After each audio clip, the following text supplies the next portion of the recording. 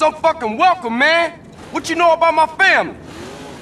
Now first we need to see what you're made of. What it look like I'm made of? Pudding? No, anger and hate, and that's what I like about you.